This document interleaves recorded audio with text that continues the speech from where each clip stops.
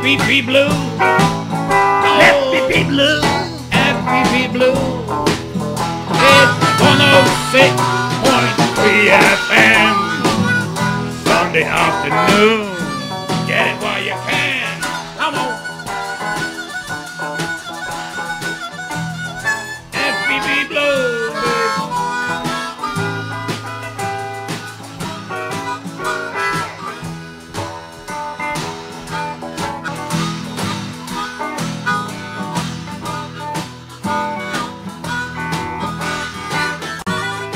Bonjour, chers auditeurs de Radio Fréquence Paris Pluriel, dans les 106.3 FM, aussi par l'internet www.rfpp.net. Bienvenue a cette émission Aquí somos, aquí estamos, émission en espagnol, mais c'est une émission pluriethnique, multiculturelle, polyglotte depuis Paris pour le monde entier. Eh, bienvenidos a esta emisión correspondiente al domingo 2 de octubre del año 2022. Y bueno, pues haremos esta emisión básicamente en español, pero también tenemos... eh, cuestiones que podemos decir en francés. Par exemple, vous pourriez soutenir votre radio associative Fréquence Paris Pluriel 106.3 FM en participant aujourd'hui jusqu'à 18h30 en le vide grenier et la journée du livre FPP. Et vous trouverez beaucoup de choses intéressantes, aussi une très, très grande eh, grillade qu'on fait des amis à ici à l'installation de Fréquence Paris Pluriel. Mais aujourd'hui, nous sommes vraiment de fête et c'est le temps que vous pourriez profiter de venir à le 1 rue de la Solidarité en el eh, arrondissement 19 por profiter cette vide grenier. Bueno, pues anunciamos que estamos aquí en una gran actividad colectiva, todos los animadores de la programación de Frecuencia París Pluriel, en este bazar que ofrece pues una inmensa cantidad de libros, eh, una parrillada que hasta acá en el estudio eh, me llega el aroma, bueno, se nos abre el apetito.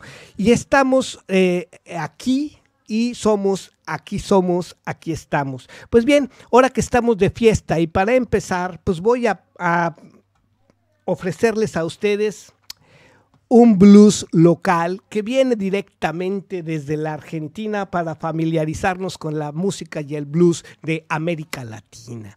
Y bueno, pues sin más cortes los dejo con un blues local, que es muy interesante saber que esto se hizo eh, en vivo y bueno, pues eh, de una gran mujer armonicista que se llama Sandra Vázquez y bueno, pateando el tablero o su álbum, pues conjuntó a una serie de músicos fabulosos, bien conocidos, muy, muy inspirados en este blues local.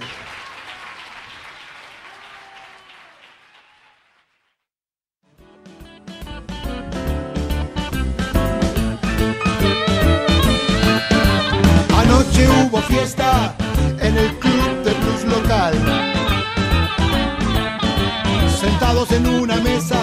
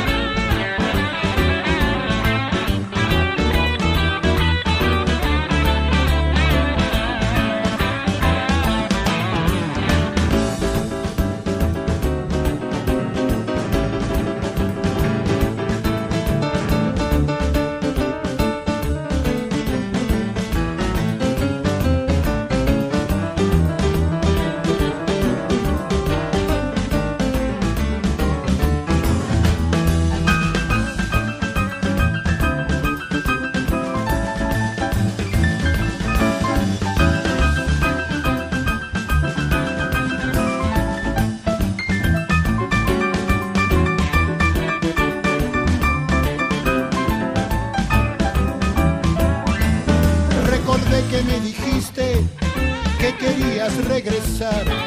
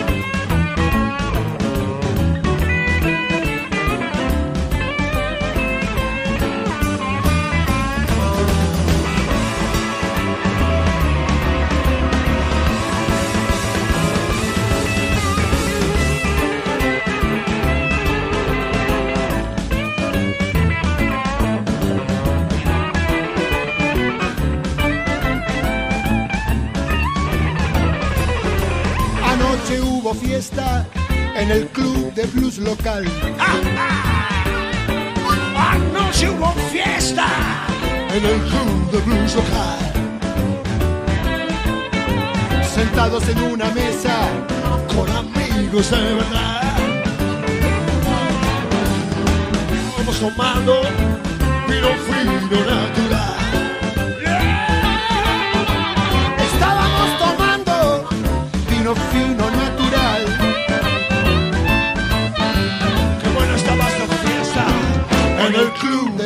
Local.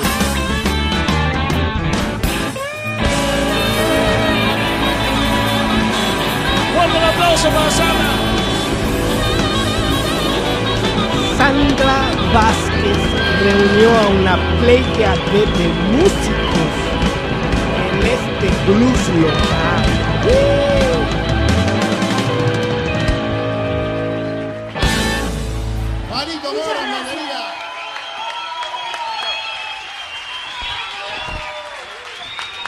Bueno, pues podrán ustedes imaginar el reventón que se organizó en, esa, en ese concierto en Francia, en eh, Argentina, perdón. Eh, es pues una, una participación del año 2012, no, no hace mucho, pero también no es tan reciente.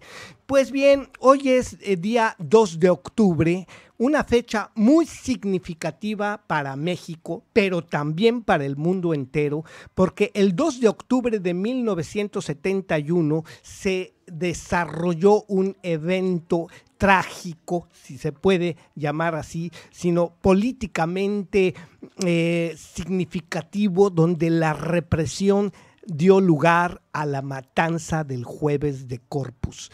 Y bien, pues como esto es una situación de eh, despertar la conciencia y, pre- y presentar informaciones alternativas para poder tener eh, pues elementos para formarse una opinión o entender también bien la historia, he reunido eh, testimonios en los que podemos decir que tuve el gusto de recabar de forma directa y de convivir con un personaje al que he citado varias veces, que eh, bien a través de mi amigo periodista al que le mando un gran saludo desde Francia, eh, Ramsés Ancira, pues eh, tuvimos contacto con Armando Lenin Salgado Salgado.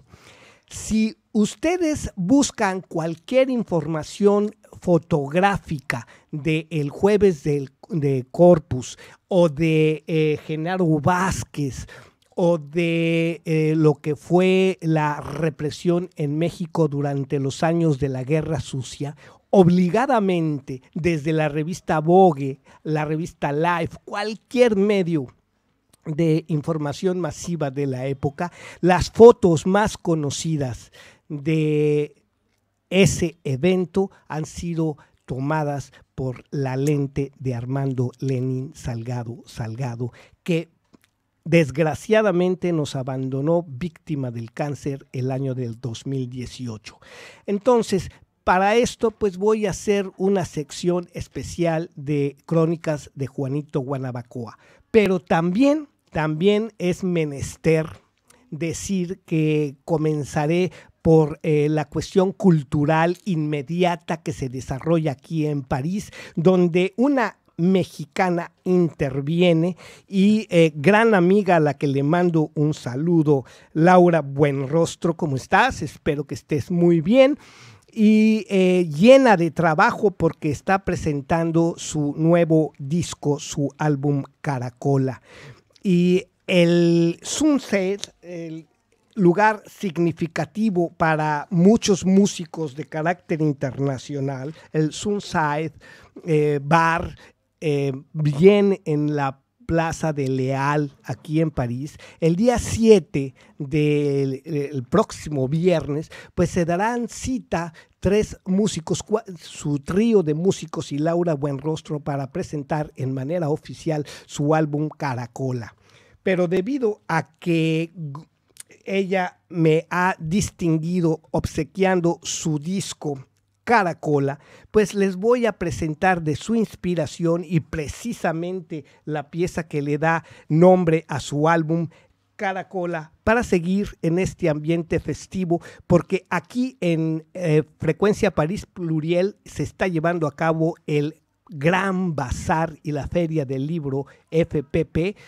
Y bueno, pues llenos de visitantes y de radio escuchas, estamos haciendo esta emisión en directo, básicamente para nuestros amigos de habla hispana, pero también para todos aquellos franceses que conocen, llaman y están interesados. Y ya aquí está sonando el teléfono, estamos recibiendo una, una llamada, estamos recibiendo una llamada y le voy a decir que como estamos al aire, la tomaremos un poquito más tarde. Pues bien, eh, la sección a cargo de, de Sofi Velasco ha tenido tanto éxito que eh, pues me han recomendado muchos, muchos cuentos y me han recomendado también pues eh, difundir algunas cosas bien, bien, bien notables que están en relación con información y algunos temas que he tratado en esta emisión de Aquí Somos, Aquí Estamos. Y una de estas fue el tema de Roberto Fontana Rosa, creador de Boogie el Aceitoso, un eh, personaje que también tristemente nos ha dejado víctima de una enfermedad hace poco tiempo, pero que ha dejado también una serie grandísima de libros, de cuentos, de dibujos y que bien vale la pena ir retomando esta situación de difundir información verdaderamente valiosa. Y para esto, pues eh, digamos que el recuento de una historia de nuestra sociedad y más allá de, la, de una familia, pues implica además de la imaginación y el talento literario, pues esa, ese ingenio, ese sarcasmo para poder tratar un tema duro, familiar, eh, bueno, en este caso vamos a decir que puede ser el alcoholismo o una enfermedad o un defecto o una tragedia dentro de una familia. Y entonces, pues dije yo, caramba, hay que buscar algo a tono y encontré un cuento de Roberto Fontana Rosa que se llama Mamá y que, bueno, ya verán ustedes en el desarrollo de este cuento todo lo que les he platicado y seguiremos con esto.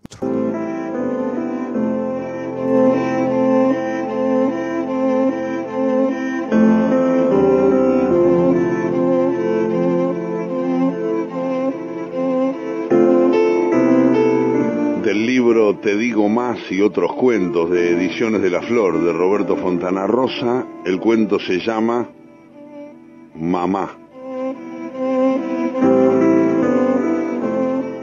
A mi mamá le gustaba mucho el trago.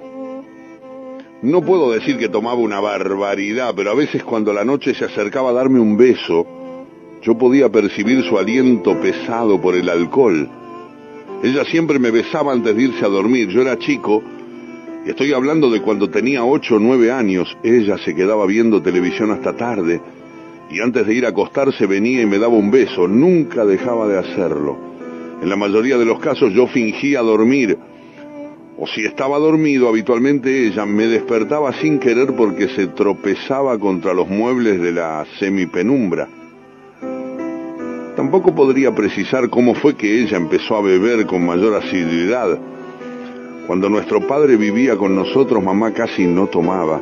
En el almuerzo solía llenar su vaso con soda y luego coloreaba la soda con un chorrito mínimo de vino, cuidadosamente como si fuera un químico elaborando una fórmula altamente explosiva. Pero lo cierto es que esas noches, en ocasiones, yo podía adivinar cuándo se asomaba a la puerta de mi cuarto por el aliento. Me llegaba una varada, espesa vino común. Así y todo, me gustaba mucho que viniera a darme un beso. Además musitaba algo como una plegaria o una bendición que yo no llegaba a escuchar pero agradecía. Mamá bebía a escondidas, o al menos no lo hacía abiertamente frente a mí, seguía tomando el vaso de soda coloreado al mediodía y también a la noche, pero nada más que eso. No sé si tomaría frente a Alcira, la señora que venía una vez a la semana a planchar, o en compañía de Zulema, la vecina del segundo piso, pero al menos frente a mí conservaba cierto recato. Poco tiempo después, cuando yo regresaba de la secundaria, había ocasiones en que la encontraba tirada en el gallinero. Teníamos un gallinero que compartíamos con Zulema en uno de los ángulos de la terraza. Varias veces la encontré a mamá tirada entre las gallinas que la picoteaban. No era lindo de ver. Las gallinas le ensuciaban encima o ella se ensuciaba con la caca de las gallinas y además se le llenaba el vestido de plumas.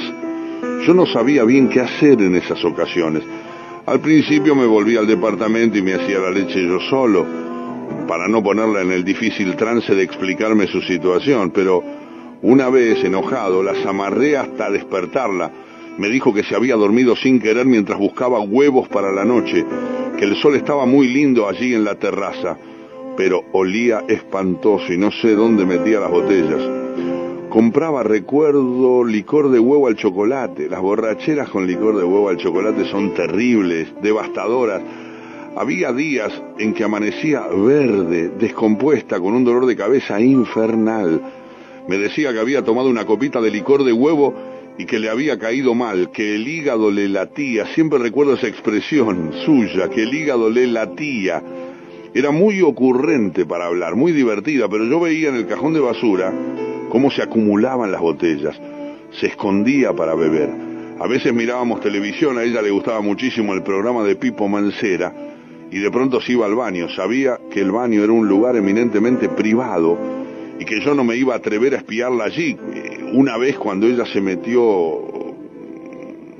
una vez lo hice, sí, ella se metió debajo de la mesa del living con la excusa de buscar un carretel de hilo que se le había caído. Alcé el mantel y la sorprendí con una petaca. Me empecé a preocupar realmente cuando se tomó una botella de alcohol abeja, un alcohol para desinfectar lastimaduras. Mamá era increíblemente dulce conmigo. Un día yo me corté un dedo recortando figuritas con la tijera. De chico me gustó recortar figuritas de las revistas de moda, de los figurines, como decía ella. Me salía bastante sangre. La yema del dedo siempre sangra mucho. Ella vino corriendo con gasa y la botella de alcohol. Me puso alcohol en el dedo y después directamente del pico del frasco se tomó un trago. Mamá, la alerté. Mi padre nos retaba cuando nosotros bebíamos directamente del pico, aún siendo gaseosas. Es que me pones nerviosa, me dijo, pero después se tomó todo lo que quedaba en el frasco. Sin embargo, no dio señales de que le hubiese caído mal, ni mucho menos.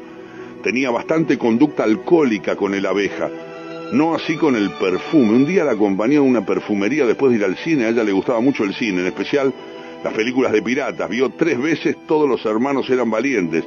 Conozco mucha gente que ha visto tres veces una misma película, pero ella la vio en un mismo día. Me dijo que quería comprarse un perfume. A la vendedora le pidió alguno que fuera frutado. Yo no creo que mamá tuviese un gusto refinado para los vinos. Se había hecho lógicamente dentro de los parámetros de la clase media. Mi padre no pasaba de los vinos chamaquito, copiapó o fuerte del rey. Yo la veía aparecer a mamá oliendo a perfume y nunca sabía si se lo había puesto o se lo había tomado. O las dos cosas. Era difícil, sin embargo, verla dando pena o tambaleante. Se dormía con facilidad, eso sí, como en el caso con las gallinas, o se le ponía un poquito pesada la lengua, pero nada más. Podría afirmar, por ejemplo, que nunca me hizo pasar un papelón en alguna fiesta familiar yo detectaba un cierto cuidado, una cierta atención especial hacia ella de parte de mis tías o de abuela Alicia, como decir, sacale la ropa, Dora, o decirle a Dora que pare, pero nada más, algún codazo intencionado a veces cuando mamá preguntaba por el clérico. Eso sí, se reía con mucha facilidad cuando tomaba, lo que no dejaba de ser por otra parte un costado simpático de su personalidad.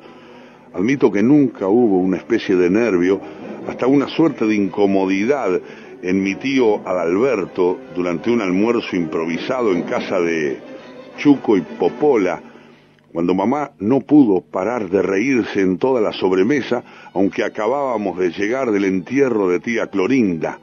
Pero era una mujer encantadora, en verdad encantadora, siempre alegre, siempre dispuesta, pese a todos los problemas que vivimos y al asunto de papá antes que se fuera de casa. A la que no le gustaba nada el asunto era a Elenita, mi hermana. Obvié contar que tengo una hermana mayor que se llama Elena. Ella se ponía fatal cuando pasaban esas cosas, no soportaba que mamá bebiera como no lo soportaba a papá, tampoco por otras razones. En el caso de papá creo que tenía algo de razón. Con mamá, en cambio, era excesivamente dura. Un psicólogo me dijo que mi hermana reclamaba lo que a ella le correspondía. No sé si coincido demasiado con eso. Por suerte nunca Lenita encontró a mamá tirada entre las gallinas en el gallinero. Lo que pasa es que mi hermana nunca subía a la terraza porque decía que le tenía terror a las alturas y porque aún conserva una extraña alergia a los animales con plumas. Veía un pollo y se brotaba. Si comía algo que incluyera gallina se hinchaba como un globo. Aunque no supiera que el plato contenía gallina, lo mismo se hinchaba con lo que quiero decir que no era algo meramente psicológico. Un día, tía Chuco, pobre, desconociendo este problema de Elena, le regaló una gallinita de chocolate para Pascuas y a mi hermana la salvaron con un decadrón. Se le había hinchado tanto la cara que parecía una japonesa. Los ojos eran dos tajos.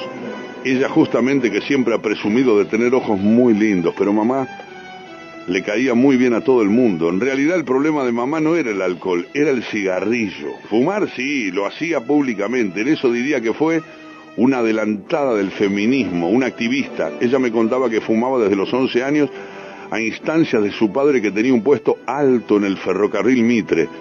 El padre la convidó con un cigarro de hoja muy fuerte justamente para que le desagradara y nunca más probara el tabaco, pero ella se envició. Había momentos en que eso sí me molestaba porque fumaba mientras comía, dejaba el cigarrillo, fumaba Marvel, corto, negro, sin filtro. Cortaba un pedazo de milanesa, por ejemplo, lo masticaba, lo tragaba y le pegaba otra pitada al cigarrillo. Tenía el dedo índice y el anular de la mano derecha amarillos por la nicotina, casi verdes. Había muchas veces en que mi padre le reprochaba que fumara durante la comida, agitando la mano exageradamente frente a su cara, como apartando el humo. Es mi único vicio, decía mamá. Y en esos momentos era verdad, pues creo que ella empezó a beber vodka y ginebra después que se marchó mi padre, sin que nadie supiera muy bien por qué. Y no pienso que mamá se lanzara a la bebida para olvidar el abandono de mi padre, creo que simplemente se sintió liberada y ya pudo hacerlo sin mayores complejos ni presiones, salvo la actitud recriminatoria de Elena. Elena a veces se levantaba antes de la mesa molesta por el humo se hacía la que tosía incluso para que no la retaran reclamándole que comiera el postre. Elena fue siempre muy dramática, muy histriónica. En casa éramos de una clase media típica, pero de aquellos tiempos cuando la clase media vivía bien, cómoda, tranquila, ¿eh? Al mediodía comíamos tres platos, por ejemplo, una sopa de entrada, el plato fuerte y el postre, que casi siempre era fruta o queso y dulce. Elena tosía, se levantaba y se iba. Siempre fue un poco teatral mi hermana. Para empezar a fumar, Mamá aprovechaba cuando la sopa estaba bien caliente y echaba humo. Suponía que el humo de su cigarrillo se mezclaba con el de la sopa y así se disimulaba. Sin embargo, no era abusiva, no era una persona a la que le importara muy poco lo que pasaba a su alrededor con sus semejantes. La prueba es que se ofrecía, en ocasiones, a ir a leerles a los enfermos. El problema es que les leía solo lo que le gustaba a ella. Tuvo una agarrada muy fuerte con un estibador que había perdido una pierna al caérsele encima una grúa portuaria y a quien mamá insistía en leerle Mujercitas de Luisa Alcott. Digamos, para que quede claro, cuando papá y Elena insistieron en sus quejas por el hecho de que mamá fumaba en la mesa, dejó de hacerlo, así de simple, dejó de hacerlo. Fue como cuando empezó a mascar tabaco, una costumbre que yo creía desaparecida con los últimos arrieros. Cuando compraba la fruta, mamá se traía para ellas unas hojas de tabaco, las plegaba, se las metía en la boca y comenzaba a masticarlas. Es cierto, no producía humo, pero llegaba un momento en que se le escapaba un hilo de saliva marrón verdoso por la comisura de los labios que me desagradaba mucho. Debo reconocer que siempre he sido un tipo bastante sensible y de chico nomás. Eh, con el tiempo mamá volvió a fumar. Le molestaba tener que ir a escupir al baño cada tanto mientras masticaba tabaco, ya que cuidadosa no quería hacerlo frente a nosotros. A punto que era muy obsesiva con el cuidado de la casa, enormemente prolija, muy aficionada a los mantelitos calados, a las cortinas con encajes, a los macramés, a las puntillas. Bordaba muy bien. A mí me gustaba mirarla por las noches, acostado en su cama escuchando en la radio el radioteatro Palmolive del Aire, mientras ella bordaba pañuelitos masticando tabaco. Era muy hábil para las manualidades, mamá. Después empezó a armar sus propios cigarrillos. Al terminar el almuerzo se recostaba en una reposera en el patio y empezaba a armar los cigarrillos. Tenía su propio papel, su propio tabaco. Era lindo mirarla mientras humedecía con saliva el borde del papel. Apretaba el cilindrito como si fuera un canelón minúsculo, lo encendía, entrecerraba los ojos en tanto el humo subía. Empezó a hacer eso, es claro, cuando tuvo más tiempo, cuando ya papá se había ido y tampoco le aceptaban tanto que fuera a leerle a los enfermos, ¿eh? Ojo que no se lo aceptaban tanto, ¿eh? Toda una sala del Clemente Álvarez había hecho una huelga de hambre contra su presencia. Llegaron a organizar una marcha de protesta contra mamá, un tanto injustamente, porque ella tenía la mejor de las voluntades. En esa marcha, un anciano, a poco de intentar caminar, sufrió la dolorosa revelación de descubrir que le habían amputado una pierna, lo que provocó más animosidad contra mi madre, pero a ella no le importaba demasiado. Le bastaba tenernos a mí y a mi hermana, pese a que Elena también se iría poco tiempo después cuando mamá le tomó, le bebió, digamos, un perfume carísimo que se le había regalado su primer novio, el imbécil de Gogó Esteban. Por cierto, cuando se le dio por fumar Toscanito Génova, el aliento que tenía por las noches cuando se acercaba a darme el beso de despedida era insoportable. Es duro decirlo, pero es así. Era como si hubiesen destapado una cisterna cenagosa con agua estancada, con aguas servidas, una mezcla de solución biliosa con aroma animal muerto. Era feo.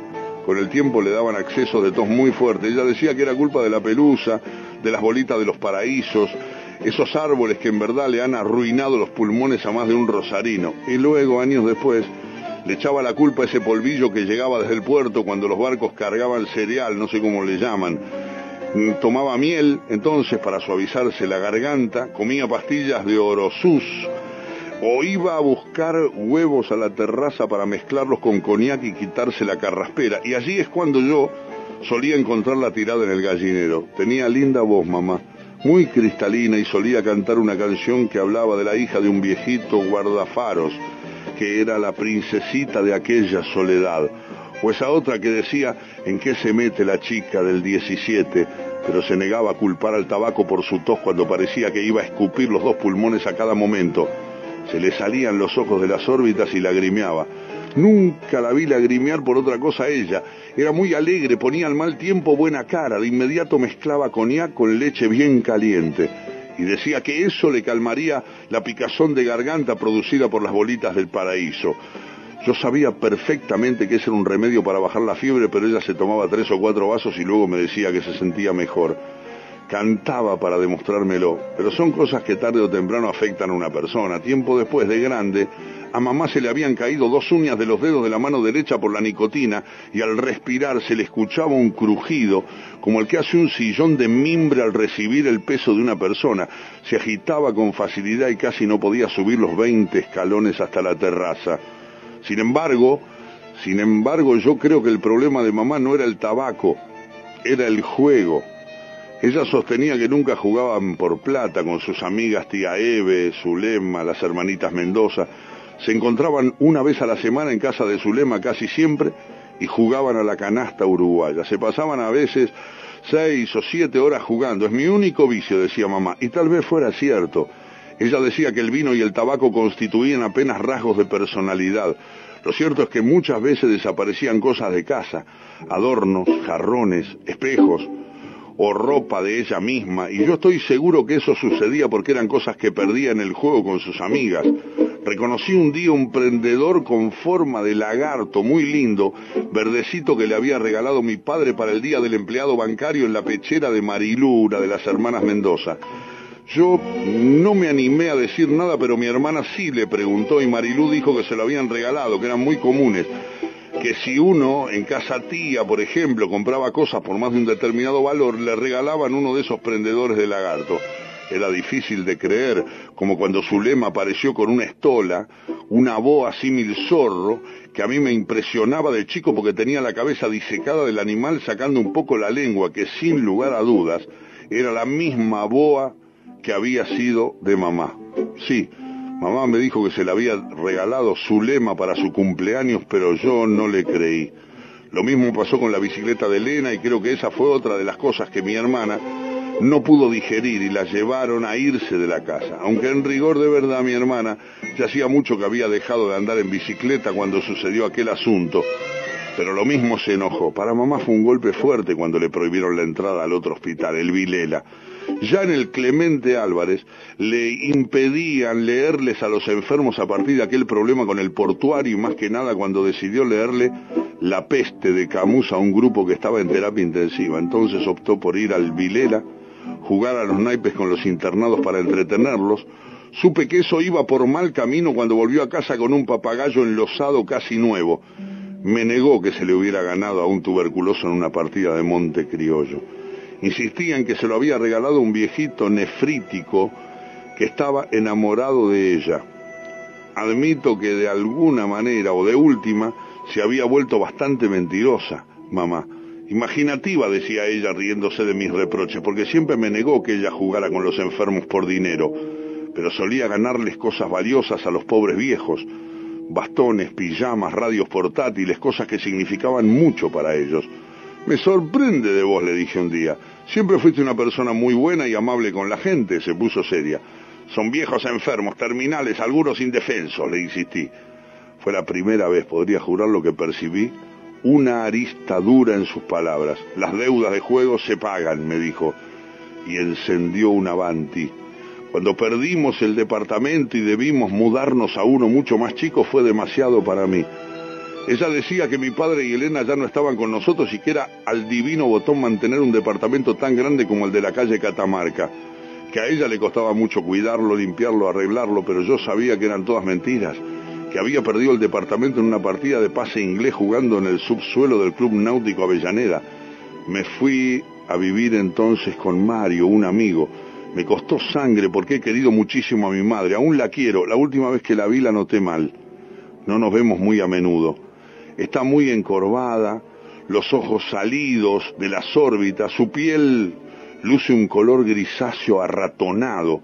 Sigue de todos modos siendo una persona encantadora, de risa fácil y trato jovial. La vi tan desmejorada que me tomé el atrevimiento de llamar al doctor Pruneda para preguntarle por su salud. El doctor Pruneda me tranquilizó, me dijo que mamá está muy bien, demasiado bien para sus vicios, pero me dijo que el problema de ella no es el del alcohol, ni el tabaco, ni el juego, y me dio el nombre de una enfermedad. Ninfomanía, me dijo. Y reconozco que no quise averiguar nada más. Incluso ni siquiera le pregunté a Carlos, que está estudiando medicina, y hubiera podido explicarme. Pero él se pone como loco cuando le toco el tema de mi familia. No sé, Por lo tanto, ¿qué significa esa palabra que me dijo el médico? Ni quiero saberlo. Temo enterarme de que a mi madre le queda poco tiempo de vida. Y prefiero guardar en mi memoria, en el recuerdo, esa imagen que siempre he tenido de ella. Esplendorosa, vital, encantadora, cariñosa y alegre.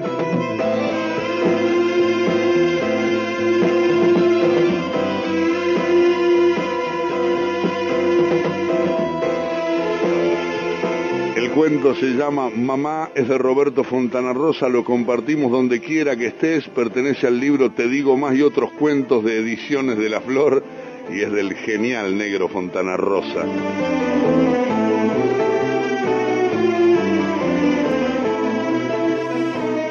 Pues estarán de acuerdo conmigo que recontar una historia de familia se requiere también ese ingenio y esa situación de descripciones. Y bueno, pues yo les puedo decir que no, no, no es algo exclusivo de cierta élite. A todos y incluso a un servidor, pues hemos pasado por pasajes familiares tres, muy, tres o cuatro veces difíciles para uno mismo para remontar la situación, pero cuando escuchamos una descripción en cuento de mamá, eh, pues eh, dirán, caramba, esto eh, es una descripción que podía haber hecho pues para una tragedia, ¿no? Una tragedia de, de teatro o algo así mamá del el señor negro Fontana Rosa, que hace poco nos dejó y que tuvo en su vida pues eh, la última etapa muy, muy, muy sufrida del mal que lo aquejaba, que le impidió poco a poco tener movilidad y poder seguir en esa situación de creación de cuentos y que bueno, ya lo vimos en uno de los programas de Aquí Somos, Aquí Estamos, que pueden ustedes consultar en el sitio de YouTube Super eh, todo lo que ha hecho este hombre de letras, este hombre de rasgos. Y bien, pues eh, eh, viendo que hay diferente clase de descripción y diferentes eh, aventuras que recontar, tuvimos la presencia hace tres semanas de Pablo Kranz aquí, este eh, músico, guitarrista, amigo mío argentino, al que le mando también un gran saludo, pues se ha dado a contar historias también con otra vena, con otra situación. Y bueno, me gustaría presentar entonces toda la soledad del mundo, creación de Pablo Kranz, que nos da pues otro visaje y dice así.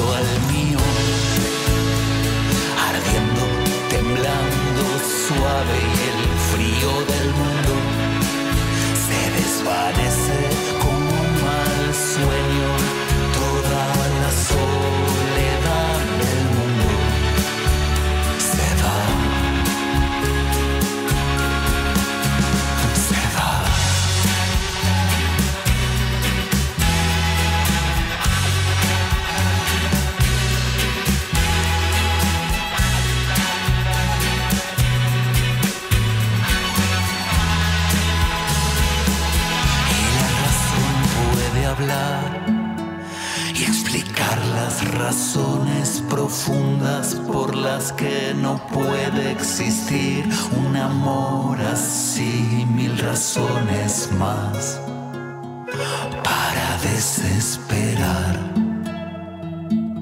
Pero no la voy a escuchar más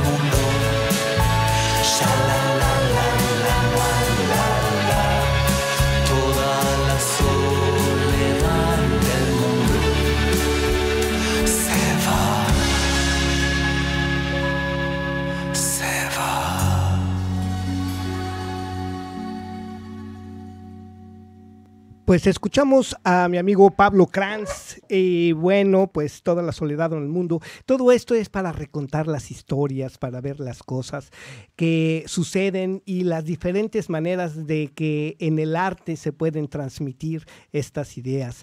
Bien, pues para eh, dar un preámbulo y entrar a la sección de Juanito Buenabacoa, la sección musical, pues voy a presentarles a ustedes un blues eh, también de los López Tapia, otro blusero también de origen argentino. Ahorita estamos eh, subiendo poco a poco hasta otros confines de nuestro continente y eh, esta, esta creación que los López Tapia nos traen a Aquí somos, aquí estamos. Sale. Bueno, este trío que tenemos con los muchachos es un trío eh, acústico del señor Fede López de la Borgoña, la armónica, el señor Iván Tapia, percusión, mi hijo mayor, el señor Ricardo Tapia de la Mississippi. Es un trío que, con el cual nos divertimos mucho. Salimos de la. Yo salgo de lo que es la, la movida eléctrica por un ratito, de, de estar con la Mississippi todo el tiempo tocando y viajando, que eso lleva mucho tiempo. Lo eléctrico también en la cabeza uno le, ¿no? le retumba. y, está bueno sentarnos, tocar sentado primero que nada, está buenísimo. Y hacer un poco de blues nacional, internacional, cosas que nos gusta hacer. eh, y bueno, compartirlo con la gente.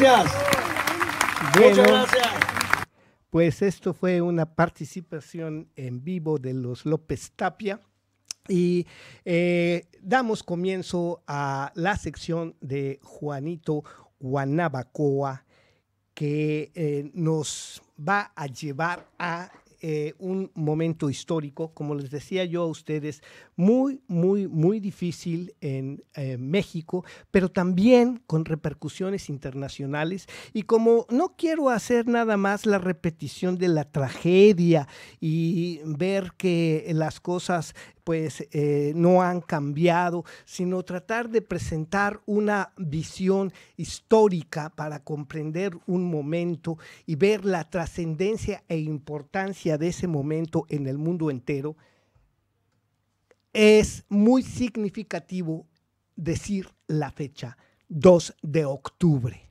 Y para esto también traer a personajes con los que he tenido la oportunidad de eh, conversar, de platicar, y uno de ellos muy, muy, muy importante para mí, eh, creador, bueno, no creador, sino eh, vamos a decir que el estructurador del pensamiento desde el sur, del pensamiento de la liberación, porque hay muchos autores que han tratado este tema, eh, Enrique Dussel Ambrosini nos dice hace ya cuatro años eh, qué es y qué significa el 2 de octubre.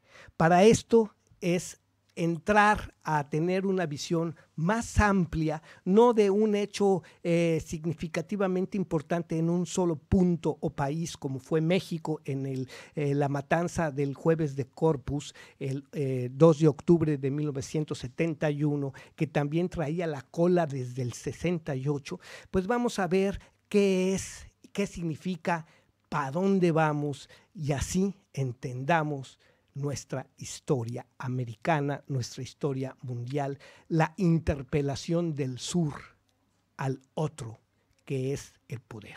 El 2 de octubre es una fecha significativa en la historia mundial.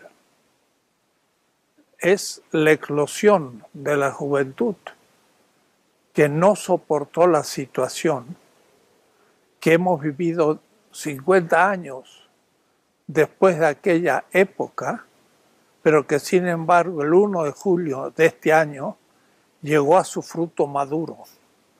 Recordemos que en ese año 68, en mayo, los estudiantes se levantaron en París, se levantaron en Berkeley, en Londres, hubo también en Bogotá, un bogotazo, y hubo también en Argentina un cordobazo donde los obreros y los estudiantes tomaron la ciudad de Córdoba y cayó el dictador Onganía.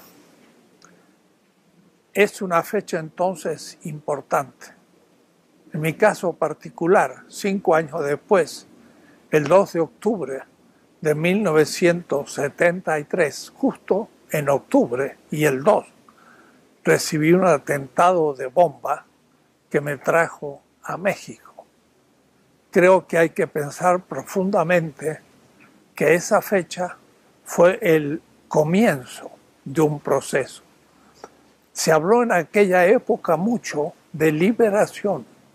Había movimientos de liberación en Algeria, eran movimientos de liberación en África.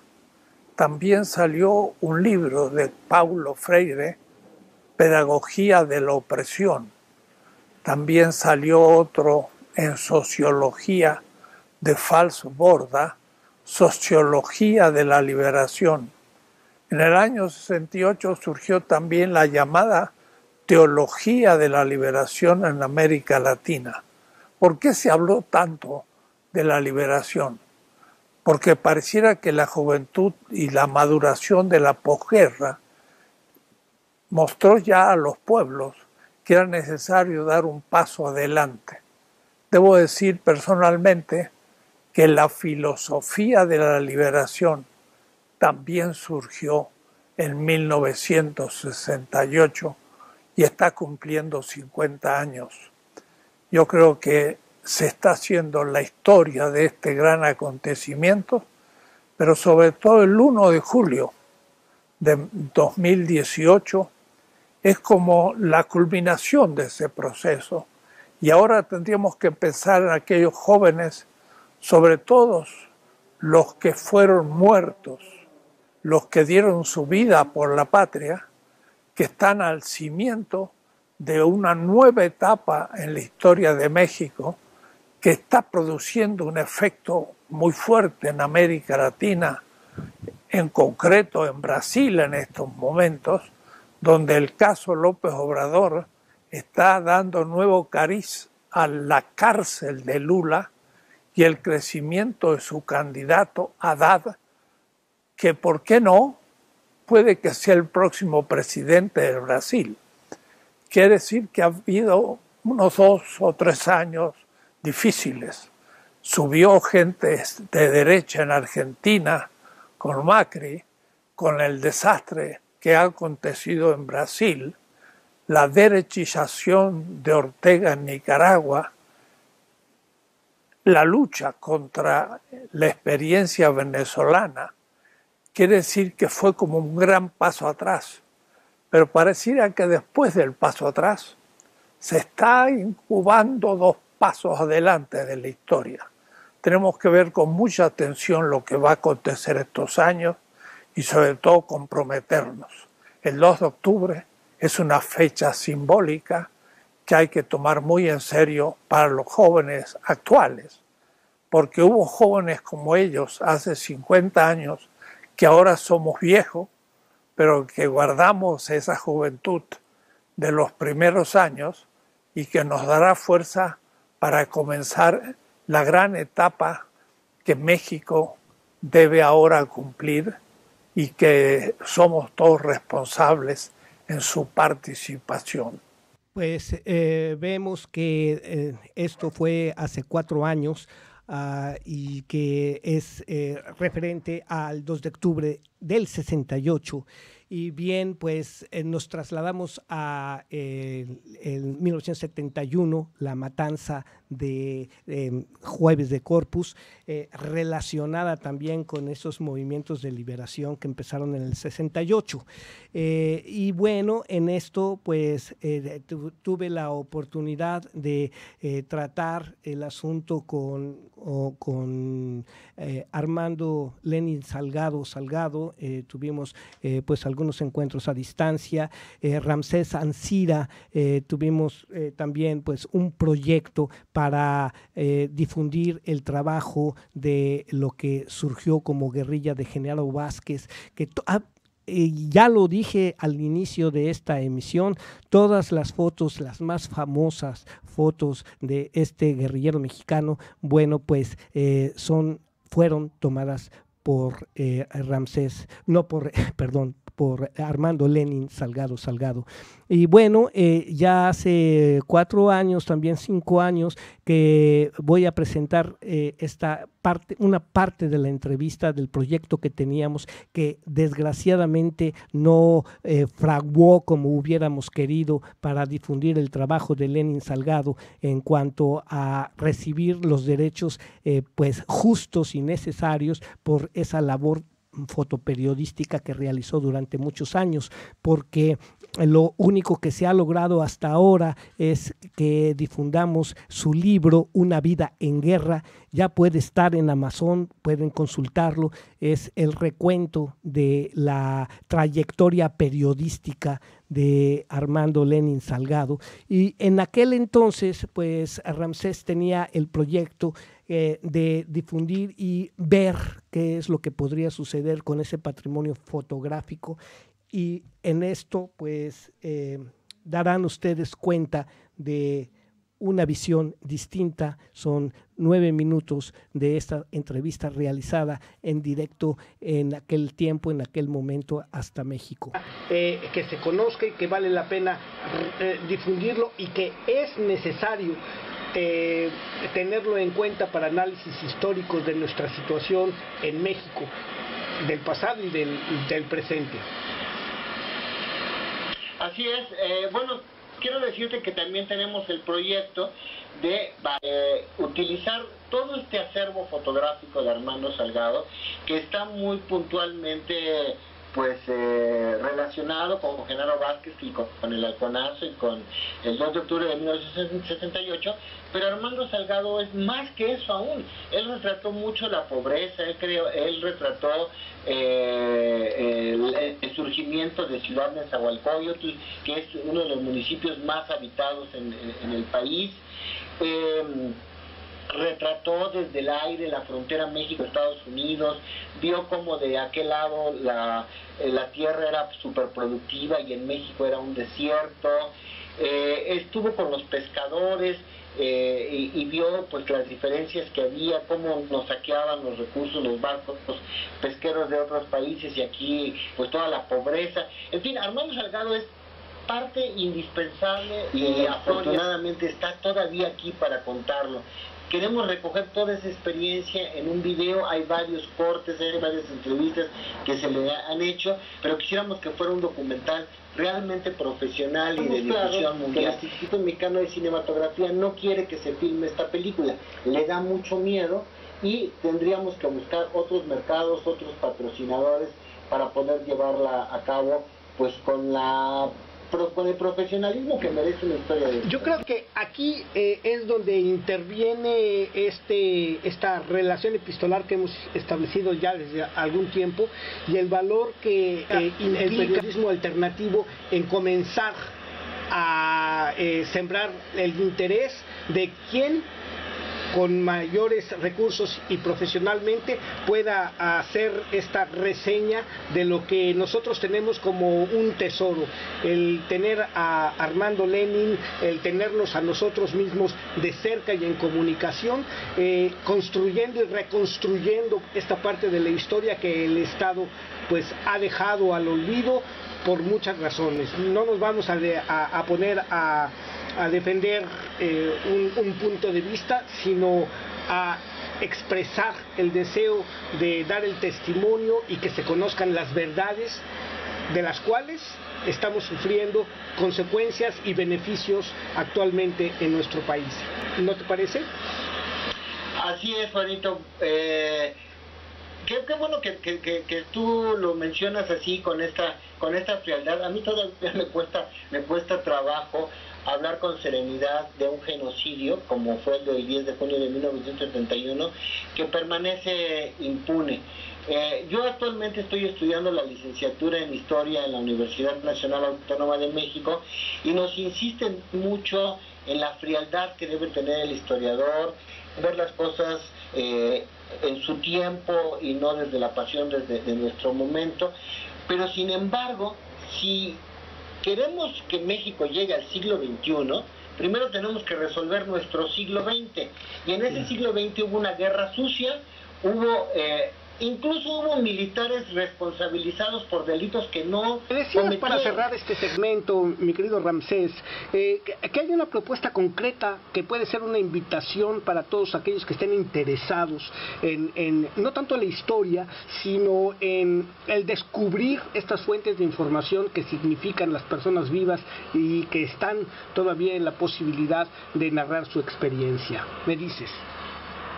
Ah, pues sí, mira, eh, en diciembre eh, con Armando en México, eh, tomando radiaciones en cancerología para el tratamiento de próstata, se nos ocurrió desesperadamente una fórmula para que él pudiera tener ingresos en su estancia en México.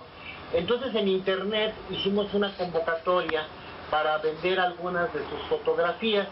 Eh, solamente llegó una persona, pero esa persona, bueno, llegaron 10, pero una eh, muy interesada en el trabajo de Armando Salgado le compró varias fotografías autografiadas del Alconazo y de Genaro Vázquez. Y él está ahorita haciendo gestiones con una universidad de los Estados Unidos para que compren todo el acervo fotográfico de Armando Salgado. Aquí estamos pensándolo mucho porque eh, la verdad sí Nos van a robar un patrimonio. Que, que ese patrimonio de México se vaya a, a- a Estados Unidos. Claro. Pero eh, Armando nunca ha visto una 100, 100 billetes de a mil juntos y, y, y y podrían venderlo en eso o en más, ¿no? Y de otra manera buscar eh, los ingresos para a- a documentar, hacer el documental filmado. Entonces, eh, una de las fórmulas en las que podrían apoyar a Armando desde París ¿Es qué?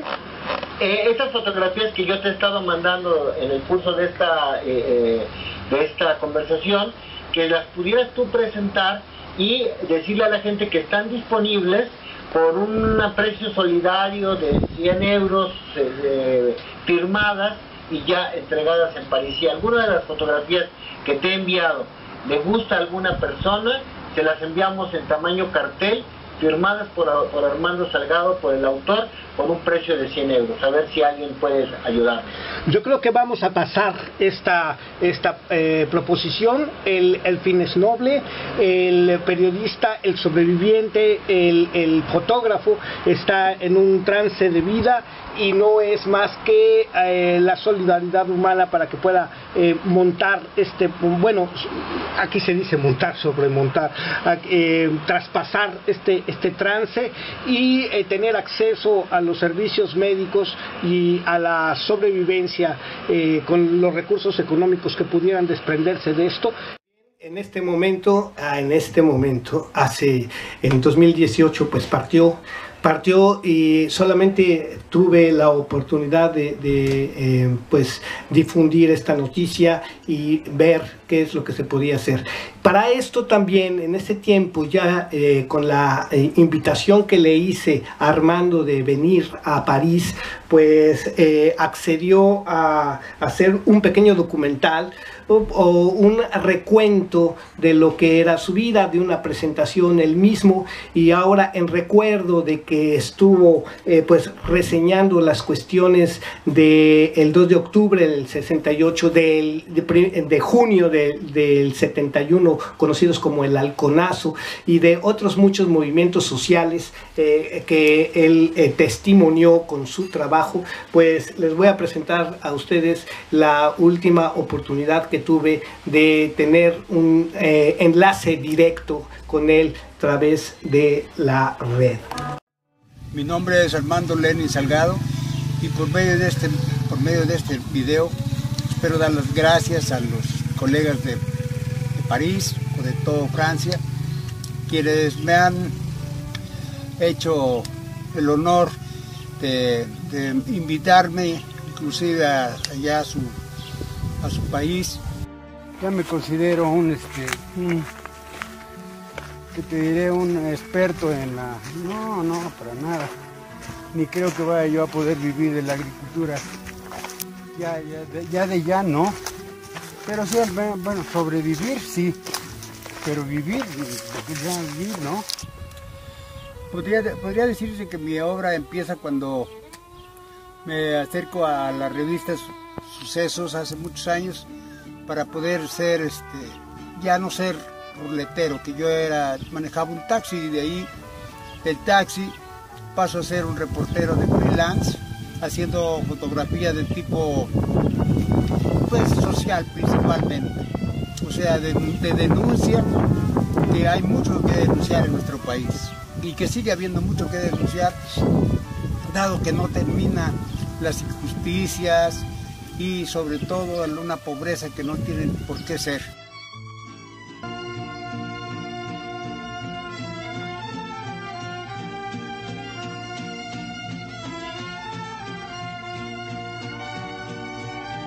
Pues yo fui en un momento dado eliminado, por decirlo de alguna forma, de lo que es el trabajo periodístico. Y hoy en día pues estoy ya en otros en otros este, quehaceres que los trato de cumplir lo mejor que puedo y en el cual considero que la humanidad si es que así no se me juzgue como como pedante pudiera verse incluso mejorada dado que mi ejemplo en este caso de trabajo y de esfuerzo puede servir. ¿Cuáles fueron los trabajos que más te identifican ante la opinión pública? ¿Por qué se te recordaría más? Pues se me recordaría más tal vez por el trabajo de Genaro Vázquez Rojas, que fue un guerrillero, un guerrillero de aquí del país, pero antes de ello hice también las guerrillas en Colombia, que bueno, son muy, pues fueron muy, muy complicados para mí, sin embargo salí con vida de ahí porque en esas guerrillas hubo un ataque a un tren y, de, realmente no creí que iba a salir con vida y estaba yo a miles de kilómetros de mi país. Y después lo de Genaro Vázquez Rojas, y antes de Genaro, lo de los, más bien ya después de Genaro, lo de los halcones, que fueron unos asesinos aquí en el país que empezaron a matar gente, y a los cuales tuve que retraté y por lo cual también tuve muchos problemas con, con la, se podría decir, la, la Gestapo de este país en ese tiempo. Y estamos ahora en Pilcaya. Cuéntanos muy brevemente de tu proyecto de Pilcaya. Pilcaya significa haberme desconcentrado de la, de la, de la gran ciudad para, para hacer menos infeliz tanto a mí como a mi familia y en ese momento empecé a pensar, desde luego antes ya lo había, ya lo había considerado así, que mis amigos podrían participar de ese tipo de trabajo. O que bueno, de ese tipo de vida, lo que significa ser ecologista, eh, vivir una vida al estilo el kibutz israelita o la comuna china, algo que además se, adaptara a nuestro país, no necesariamente igual y que como es hoy en día, claro que quedé solo porque no todo el mundo está dispuesto a, pues, a sufrir pobrezas, a, trabajos pesados. Eh, en este caso el trabajo se volvió de, de, ciudad a campesino y de campesino no es lo mismo que un ciudadano que tiene que correr al autobús o al metro y que es otro tipo de vida y que yo realmente no, la, no me gustaba para nada.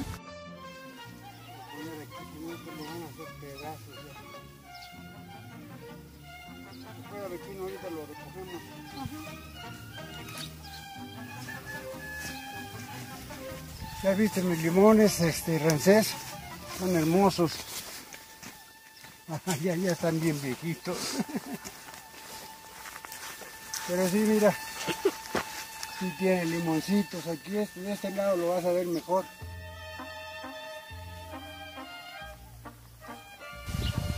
Entonces, lo que hoy en día hago me gusta más, a pesar de ser más trabajoso, que afortunadamente ya lo vencí. O sea, ya vencí el, el no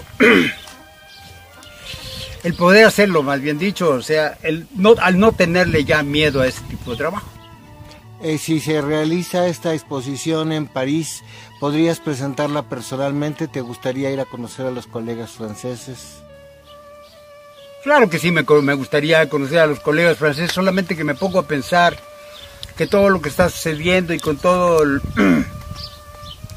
la problemática que es el trasladarse de un lugar a otro, dado que esto cada vez va en más creciendo, pues me saca del medio en que yo ya estoy, que tengo muchos años de vivir una, una vida pues sí trabajosa, pero tranquila.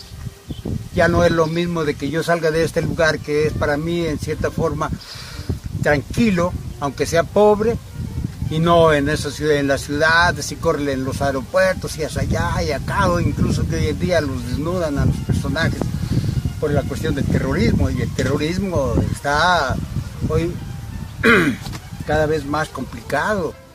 Finalmente, eh, dos preguntas. ¿Qué es lo que crees que le gusta más a la gente de tu obra? Y a ti, ¿cuál es tu trabajo que más te eh, enorgullece o el que te gusta más si es que pudieras elegir? Pues ya lo que más me gusta hoy en día eh, ya es muy diferente a lo que me gustaba antes. Antes era el trabajo de denuncia, el trabajo de reportero, el trabajo de fotógrafo, incluso de camarógrafo, porque yo, manejé la, la, la cámara de 16 milímetros, que ya hoy en día pues ya no se usa, ni mucho menos. Y lo que me gusta es ser astrólogo. Yo soy astrólogo, soy numerólogo, me encanta la numerología, la astrología por el descubrimiento que en ella he encontrado de la personalidad y de cómo somos manejados desde otro, plan, desde otro plan, desde el plan esotérico. Muchísimas, muchísimas gracias Armando. ¿Tus fotografías favoritas? Pues no tendré, yo digo, no, no tengo ninguna fotografía favorita realmente, para mí todas, eh, en el, este caso son las de, las de denuncia y que fueron muy, este, pues en este momento muy afortunadas de poder denunciar a personajes nefastos o situaciones muy, muy difíciles de la vida. Y hay una cosa muy interesante, tu obra, además de su valor histórico, demuestra eh, un crimen de Estado como fue el del halconazo. Nadie más captó, aunque se dijo que el gobierno, que eran estudiantes que se peleaban entre sí, pero tú demostraste a gente disparando contra otras personas. Eso tiene un valor para los derechos humanos pues, eh, inconmensurable. Sí, sí, me hubiera costado en ese tiempo la vida si, si es que pues eh, hubiera tenido tan mala fortuna de haber caído en manos de esos sujetos cosa que no me pasó, pero que más posteriormente tuve la mala suerte de caer en manos de las gentes que en este país han sido ya denunciadas como los represores y asesinos del mismo. Un mensaje que quieras enviar a los eh, colegas eh, parisinos, tanto a los que se dedican a la fotografía periodística como a la fotografía artística. Pues el mensaje para los parisinos sería, y los, los colegas es mi admiración hacia ellos y la lucha que se hace a través de los eh, medios de comunicación honestos que los hay en todos los países y la fama que tiene Francia de los mejores corresponsales extranjeros. Muchas gracias. Bueno, pues ven, eh, este, este proyecto pues nos, nos costó tiempo y, más bien no hubo tiempo para que eh, pues Armando Lenin pudiera, pudiera verlos, pudiera venir incluso aquí a, París.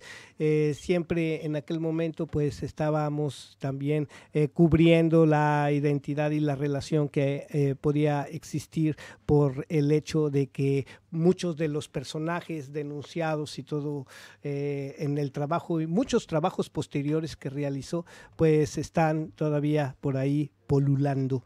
Y en, en, esto pues tenemos la parte de la historia que ha degenerado en, en la represión y la omisión de información y el, tema que he venido tratando desde los más medias.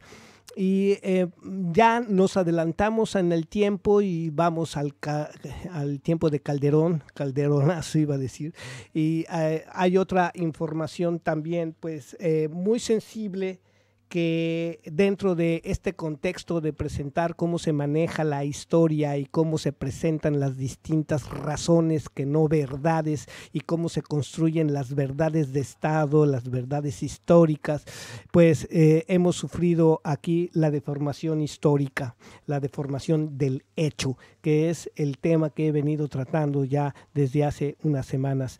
Y bueno, pues voy a presentarles eh, ahorita un, un artículo, una situación que me parece pues bastante relacionada a esto, sí como puntos, no, no de un solo hecho, sino puntos que iluminan momentos históricos importantes y nos dan eh, esa, esa idea de qué es lo que es la comprensión histórica y el hecho de presentar y de conocer eh, pues lo que socialmente nos afecta para esto, pues, eh, Fabricio Medina nos trae eh, lo siguiente.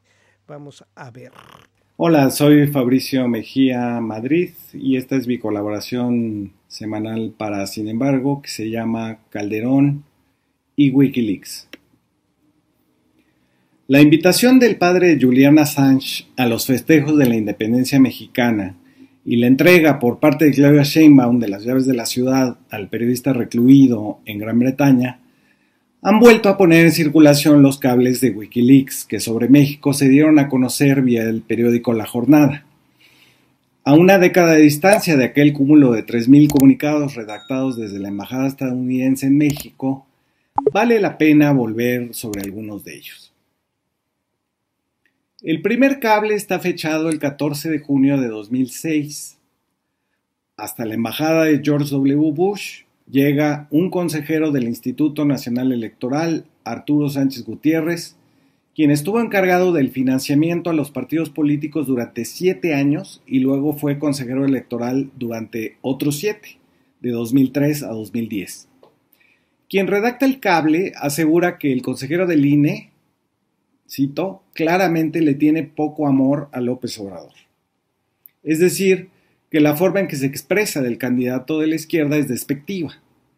Pero el cable, cable, es crucial para nuestra historia reciente porque en él este consejero, Sánchez Gutiérrez, afirma que la elección se definirá a favor de Felipe Calderón por tres puntos porcentuales o menos, que esperan una reacción popular encabezada por López Obrador, que se desgastará porque ya hay un acuerdo con los partidos para que acepten los resultados, y le anuncia a los gringos que quizás no exista un anuncio del ganador vía el conteo rápido y que todo reca recaerá en el programa de resultados preliminares, el PREP.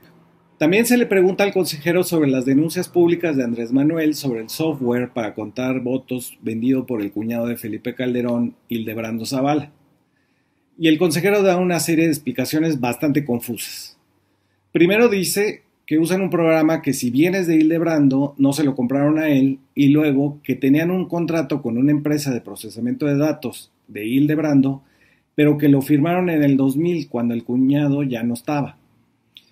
Es notable la forma en que el consejero del INE habla de las negociaciones con el PRI para que acepte los resultados a favor de Calderón, a cambio, dice, de puestos en el gabinete y aprobación de ciertas leyes. Lo que queda claro es el papel del INE completamente sesgado a favor de uno de los contendientes, el de Acción Nacional, y de alguna forma inmiscuido en las negociaciones con el PRI de Roberto Madrazo. El siguiente cable sobre el que quiero llamar su atención es el que tiene fecha de 19 de octubre de 2009, en el que reportan una conversación con el secretario de la Defensa Nacional, el general Guillermo Galván Galván, donde el militar les externa a los empleados de la Embajada norteamericana su anhelo de que Felipe Calderón decrete el estado de excepción para su guerra contra el crimen organizado.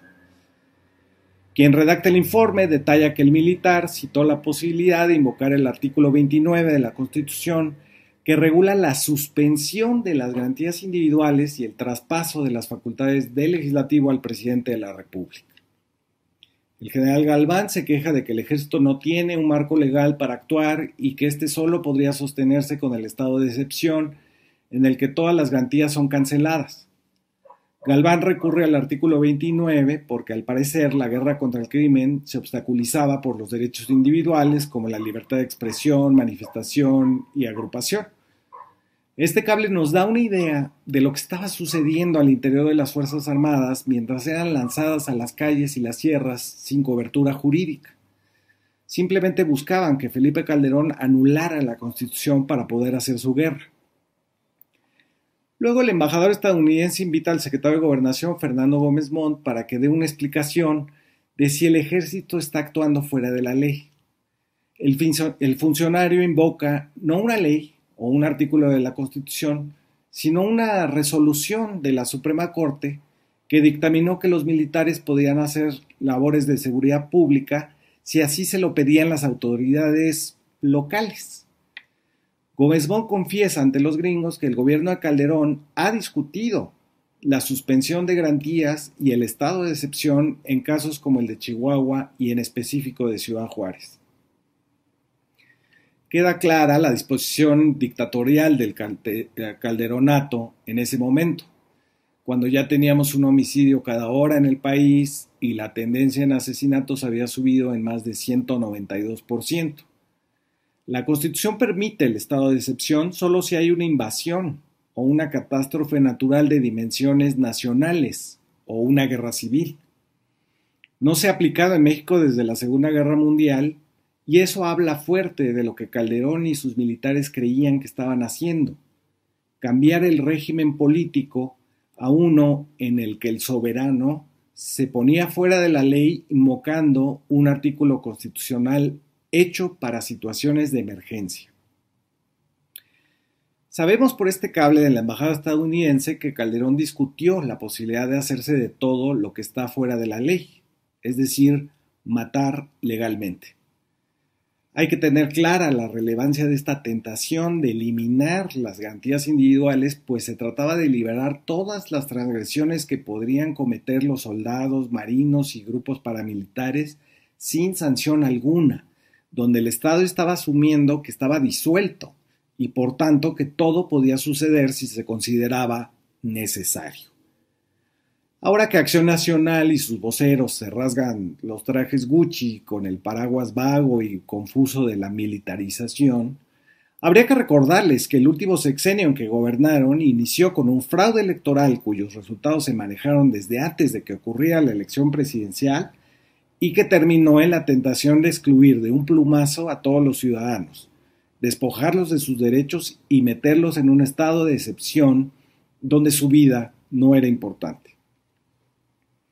Hay que decir que tanto el fraude como el estado de excepción representan la exclusión de los millones que no votaron por Calderón y la amenaza, el potencial de que el propio Calderón decidiera sobre sus muertes. Este cable hace juego con otro en el que la embajada se muestra preocupada por la salud mental de Felipe Calderón y aunque no lo dice, por las versiones de su alcoholismo. Dice el cable, seguimos interesados en cómo este estrés afecta su personalidad y su estilo de gestión y cómo ese estilo está afectando la marcha del gobierno, sobre todo a raíz de los recientes cambios del gabinete, y entonces la embajada emite un cuestionario para que los cercanos a Felipe Calderón respondan a varias preguntas. 1. ¿Cómo reacciona el presidente Calderón a puntos de vista diferentes al suyo? ¿Le gusta debatir con personas que no están de acuerdo? ¿Prefiere escuchar su punto de vista pensando un momento para después llegar a una respuesta? ¿Se rodea de gente que tiene diferentes puntos de vista o prefiere personas que simplemente dicen sí, presidente? 2. ¿Cómo describiría el estilo de gestión de Calderón? ¿Es más un hombre de ideas o un compulsivo? ¿Cuáles son los efectos de su estilo de gestión para aquellos que trabajan para él? 3. ¿El estrés ha afectado a algún miembro de las áreas de seguridad o económicas del gabinete? ¿Han tenido algún problema de salud? ¿Qué tipo de actividades realizan estos miembros del gabinete para lidiar con el estrés? Hasta ahí el cuestionario que apunta hacia una inquietud y recelo hacia el estado mental de Calderón y los miembros del gabinete tras el desastre de la guerra, la crisis de la llamada gripe del puerco, la caída de la economía en un 5.2%, el cierre de empresas y el desplome del 63% de acción nacional en las elecciones intermedias de 2009. Al final, la idea de un presidente ilegítimo, obsesionado con la muerte y estresado al grado de preocupar a los empresarios y funcionarios de Estados Unidos, termina en el retrato de un personaje ridículo que persigue terroristas que no existen. Hola, soy Fabricio Mejía Madrid y esta es mi colaboración semanal para Sin embargo, que se llama Calderón bueno, pues eh, aquí un pequeño error. Eh, eh, todo esto, todo esto nos trae a una situación de cómo, cómo es que se ven las cosas y cómo es que existe la manipulación. La columna de Fabricio Medina creo que ya está en las redes sociales, esto es muy, muy, muy reciente, y se dijo con relación a la idea de, de ver cómo a través de la prensa se puede denunciar y cómo también a través de los grandes medios se manipula una situación y cómo a final de cuentas el tema que he estado viendo es que en las relaciones internacionales no hay justicia ni defensa de derechos, sino intereses, puramente intereses. Eh, bien, eh, dentro de la, pues vamos a decir, del video que hago de todo el programa, dado que tenemos poco tiempo ahora, pues voy a presentar todo ese eh, participación completa.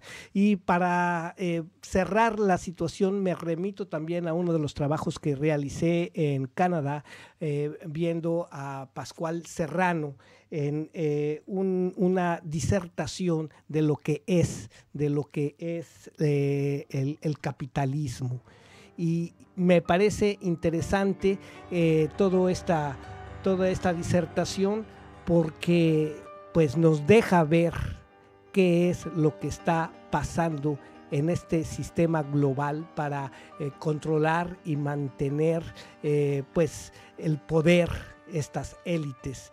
Y bien esto fue tomado en Canadá He titulado algo así como el capitalismo, paradojas, contradicciones y tropelías.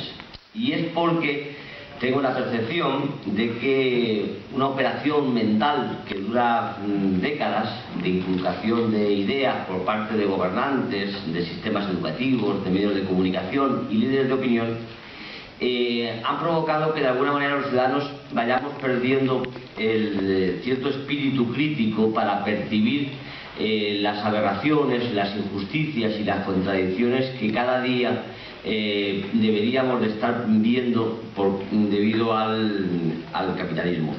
Si se dan cuenta, cuando una sociedad que pugna por un modelo diferente, como puede ser la cubana o la venezolana, cuando hay algo que no funciona, siempre oímos que dicen que el comunismo no funciona o que el socialismo no funciona. Es decir, cuando hay colas en una panadería de un país socialista dicen que el comunismo no funciona. Pero cuando hay una tremenda crisis financiera en el capitalismo, nunca dicen que el capitalismo no funciona. Cuando hay un problema con un ministro, cuando hay un caso de corrupción en el capitalismo, nunca dicen que el capitalismo no funciona. Hasta en los momentos mm, más tremendos de crisis, eh, Nicolás Sarkozy, el presidente de francés, decía que había que refundar el capitalismo. Es decir, nunca el capitalismo eh, se plantea en, eh, los medios dominantes o en la opinión dominante como objeto de superación, frente que, eh, insisto, en el socialismo hasta una cola en una panadería es la prueba de que no funcionaría.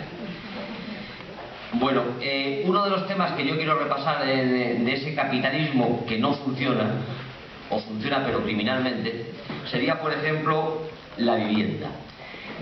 Países como, de nuevo vuelvo a Cuba o a Venezuela, tienen un grave problema de vivienda. Muchos ciudadanos no tienen alojamiento. Eh, ellos entienden que lo que hay que hacer en el caso de Cuba, por ejemplo, es construir viviendas, es decir, en la medida en que se tienen recursos materiales, se van construyendo viviendas y se van dando a disposición de los ciudadanos. En Venezuela, como todos sabemos, existe un plan vivienda en estos últimos años, faltan muchas viviendas en Venezuela, se van construyendo, probablemente muchos pensarán que es demasiado lento, pero ese es el, el- el modelo, bastante racional. Nos faltan viviendas, intentamos construirlas, las vamos construyendo, las vamos repartiendo. En mi país, que es España, ustedes saben que hubo un momento de euforia de construcción y hoy en España hay 5,6 millones de viviendas vacías. Pero eh, los ciudadanos no tienen dinero, otros ciudadanos no tienen viviendo para, dinero para pagar la hipoteca al banco, ¿no? De tal manera que cada día se ejecutan 159 desahucios, es decir, 159 familias cada día tienen que dejar su vivienda, irse a la calle o a casa de un familiar porque no tienen dinero para pagar eh, la vivienda al banco. Luego, 29 personas que tienen que dejar su vivienda, ¿no? Es decir, ese es el funcionamiento del sistema capitalista. Es decir, entender que alguien por su poder adquisitivo puede tener cuatro o cinco viviendas y que alguien si no tiene poder adquisitivo pues se tiene que vivir en la calle, ¿no? Eh, creo que esa es otra de las pruebas del modelo aberrante mental desde el punto de vista humanitario que supone el capitalismo. El capitalismo dice habitualmente, bajo su coartada de supuesta democracia, que los ciudadanos votan, que los ciudadanos tienen mecanismos de representación, de elección y de posicionamiento. El año pasado, los trabajadores de la planta industrial de automóviles Fiat en Turín, en Italia, celebraron un referéndum para decir si aceptaban que la empresa aumentase la jornada laboral y disminuyera los tiempos de descanso. El consejero delegado de la Fiat les había dicho que si ganaba el no, es decir, si no les parecía bien eso, se llevarían la fábrica fuera de Italia y se irían a la calle los 5.000 trabajadores. En aquellas fechas, otra empresa automovilística en España, Nissan, pro- pro- proponía otro referéndum en el que les proponía a los trabajadores la congelación salarial y el aumento del tiempo de trabajo. Pero si salía que no, la empresa se iría a Sudáfrica o a Marruecos. Bien, en ambos evidentemente ganó el sí, es decir, aceptaron las condiciones. Es decir, ese es un ejemplo de la democracia y de las votaciones en el capitalismo. Pero son muchos los ejemplos. El 74% de los españoles, cuando le preguntaron una encuesta de una aseguradora si era partidario de aumentar la edad de jubilación, el 74% dijo eh, que no. Cuando le preguntó el Centro de Investigaciones Zoológicas, el 80% dijo no. Cuando se votó en el Parlamento eh, unas reformas en la dirección a aumentar la edad de jubilación, votaron todos los diputados a favor menos nueve, mientras que en la sociedad el 80% estaba en contra. Una encuesta mostró que en España que el 73% de los españoles pensaba que la, una instalación de la central nuclear en su país era un riesgo para él y su familia. Sin embargo, en España existen ocho reactores nucleares en activo. Cuando se les pregunta a los ciudadanos, yo creo que queda muchas veces en evidencia ese divorcio entre lo que quieren las personas y lo que hacen los gobiernos bajo el capitalismo. Sucedió en Islandia, donde se les preguntó si estaban de acuerdo en pagar con dinero público las deudas que tenían con los, los bancos británicos y holandeses y el 80% de los ciudadanos de Islandia dijeron que no, que no les parecía que tenían que pagar de su dinero los problemas bancarios de dos bancos extranjeros. No les sale bien, siempre deben estar preguntando hasta que consiguen que en algún lapsus los ciudadanos se decidan por lo que querían ellos. Le volvieron a preguntar al año si estaban de acuerdo en devolver los 4.000 millones de euros a las entidades financieras del Reino Unido y Holanda. Y, insistentes, los irlandeses volvieron a decir no. En Eslovenia, el Parlamento aprobó una reforma laboral, pero la presión popular logró que se llevara a referéndum. ¿Qué pasó? El 84% dijo no. En Italia, una iniciativa popular logró llevar a referéndum cuatro legislaciones aprobadas por el gobierno. Las cuatro salió no. Es decir, en este sistema capitalista que se llama democracia representativa, ya nos dicen constantemente que no nos garantizan la vivienda, que no nos garantizan el trabajo, que no nos garantizan la alimentación, pero que los que gobiernan nos representan. Es evidente que ni siquiera ese poquito del que más les gusta alardear, ni siquiera ese poquito nos lo garantiza. México. Pero en cambio, ¿qué es lo que sí que hace el capitalismo? Pues hace, eh, nos quiere convencer de que sí que elegimos muchas cosas. En el 2011, la compañía Clemenger BBDO de Australia ideó una campaña global, ahora todo global, una campaña global, en la que los ciudadanos podían votar entre cada uno de los modelos de caramelos, que cada uno tenía un carácter. Entonces hay un caramelo que llama Blue, que quería decir que era moderno. Había otro que era Miss Green, que era el que representaba a las chicas. Otro que era Red, que era el poderoso. Y otro que era Yellow, que era el gracioso. Y otro caramelo que era Orange, que era el paranoico. De manera que los que consumían caramelos, pues votaban. Votaban los colores de caramelos. Y elegían cuál era el caramelo de esa empresa que era más popular. Es decir, convertían unos caramelos en una orgía democrática, la empresa se convertía en soviets donde todos se podían pronunciar a favor del color del caramelo que les parecía más de acuerdo y nos volvían a recordar qué democrático es el capitalismo, donde podemos votar el caramelo.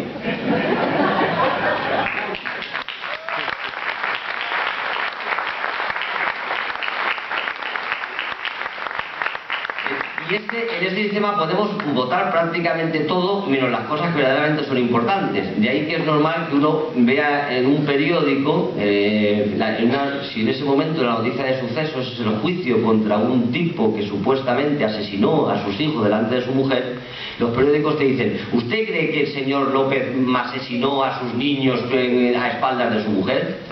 Nosotros no tenemos ni idea, evidentemente, pero en cualquier caso ellos constantemente apelan a que nos podemos pronunciar. En esta democracia usted hasta puede votar si el señor A los juicios conscientes de que ya no pintamos nada en la decisión política, ahora nos quieren decir, bueno, la política a usted no le tiene en cuenta, pero no se preocupe que el mercado sí que le tiene en cuenta, que el capitalismo sí le tiene en cuenta, la democracia que usted ha perdido en su parlamento la ha ganado en la selección de los caramelos, ha ganado en la decisión de debate estúpido sobre la noticia ridícula eh, de- del día y aunque el poder político a usted no le escucha, no se preocupe que el mercado sí que le escucha. Seguimos con las tropelías. Eh, ayer Nicole Sabe habló algo y creo que vale insistir, como en el capitalismo todo se compra y todo se vende. Hubo un tiempo en que el, mundo vivió unos procesos de descolonización fundamental donde estaba en tela de fuego la propiedad de la tierra eh, para unas naciones que estaban recuperando su independencia y su soberanía. Ahora ya la independencia y la soberanía es irrelevante porque las tierras directamente se compran por empresas extranjeras. Eh, hay grandes emporios que están directamente comprando grandes extensiones de tierras en países pobres, con cifras que yo creo, a modo de ejemplo, puedo contar algunas. Que una compañía noruega adquirió 38.000 hectáreas en Ghana a un jefe tribal, que la coreana Daewoo alquiló por 99 años un millón de hectáreas en Madagascar, o que en Laos entre 2 y 3 millones de tierras mm, cultivables han ido, hectáreas han ido a parar a manos de compañías extranjeras. Es lo que la FAO ha llamado con muy bien criterio la nueva forma de colonialismo. Si se dan cuenta, hay algo que siempre defendió el capitalismo y que, y que mayoritariamente se aplaudía desde los poderes, que era el libre comercio y el aplauso a la inversión extranjera. ¿no? Eso parecía indiscutiblemente bueno. Pues el libre comercio y la inversión extranjera es que vengan estas empresas y compren masivamente las tierras en unos países que, es- que supondrá que esas cosechas ahora será para elaborar productos, evidentemente, para la empresa del país que lo compró. No es para elaborar productos agrícolas para dar de comer a los ciudadanos de ese país. Eh, no solamente se hacen propietarios de las tierras, sino también, como se comentó ayer, se hacen propietarios del mercado de los, eh, de los productos agrícolas fundamentales para su supervivencia. En la página web del Deutsche Bank se podría leer el siguiente anuncio. ¿Quiere recoger los frutos de un posible aumento de los precios de los productos agrícolas? Deutsche Bank como distribuidor le propone dos maneras de beneficiarse. Y a partir de ahí eh, proponían comprar eh, acciones en unos fondos de inversión en Luxemburgo, evidentemente, un paraíso fiscal, que ganaban, el que ganaban dinero en la medida en que subía el precio del trigo del maíz. Otra banca española, Caixa de Cataluña, anunciaba un depósito 100% natural. Según afirmaban, este depósito te da la posibilidad de obtener una rentabilidad muy atractiva condicionada por la evolución de Bueno, pues es una probadita de miel de lo que nos pasa eh, hasta nuestros días. Este trabajo lo realicé en una conferencia que Pascual eh, eh, Serrano fue a dar a Montreal y ya después pues también hay unas entrevistas que le hice y que bueno ya están en el sitio oficial de Juanito Guanabacoa y muy interesantes acerca de lo que está sucediendo. Y todo esto para ver la manipulación de los grandes medios, la distorsión de las verdades, los intereses en las relaciones internacionales. Y bien pues eh, viendo que este tema es muy in- muy importante y muy sensible. Agradezco a mi amigo eh, de la emisión que sigue esta de con Lambi porque nos ha dicho, bueno, pues puedes utilizar el tiempo y me han llamado también para ver si podía yo repetir la participación de Fa- Fabricio Medina y dado estamos así, pues me atrevo a hacer un pequeño paréntesis musical para repetir esta situación de Calderón en Wikileaks y toda esta información para continuar con la sección de crónicas de Juanito Guanabacoa correspondientes a este domingo, domingo 2 de octubre, en el que, bueno, pues desde Tlatelolco hasta el Halconazo hemos visto que en la visión de un filósofo como Enrique Dussel tiene mayores, eh, vamos a decir, dimensiones los hechos que comenzaron en el 68 y que aún estamos viviendo eh, mm, consecuencias como es la militarización, como es la represión institucional, como es la afectación de los derechos humanos. Y bueno, mientras tanto, bueno, un blues.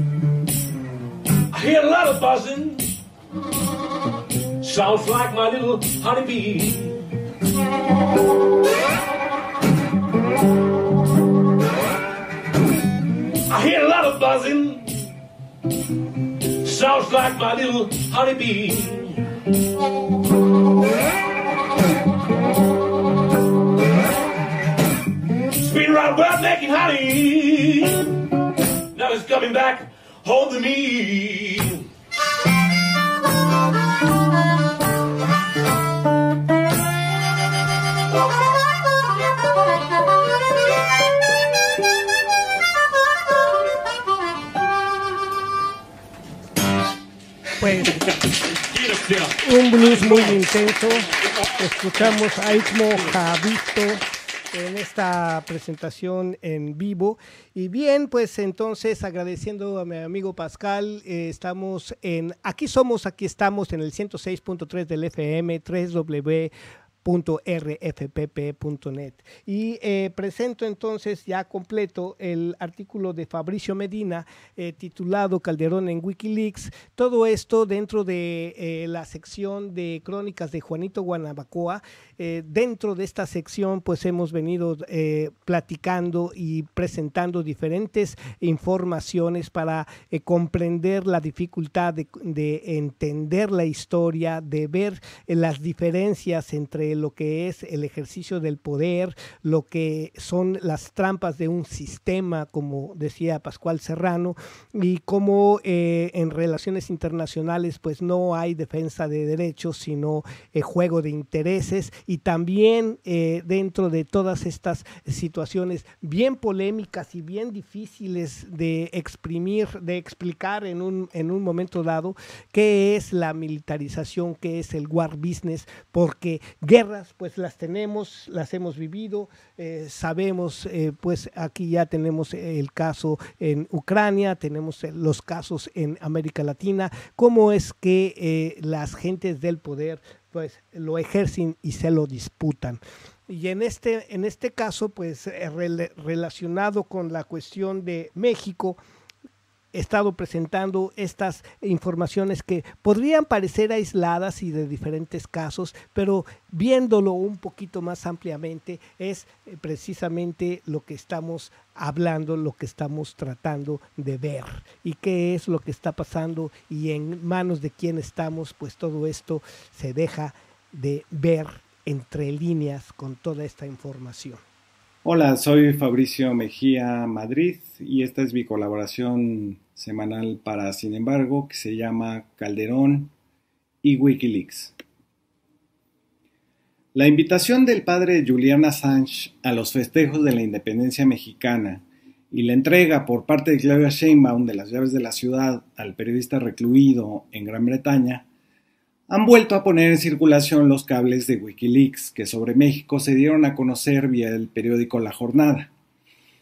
A una década de distancia de aquel cúmulo de 3.000 comunicados redactados desde la Embajada estadounidense en México, vale la pena volver sobre algunos de ellos.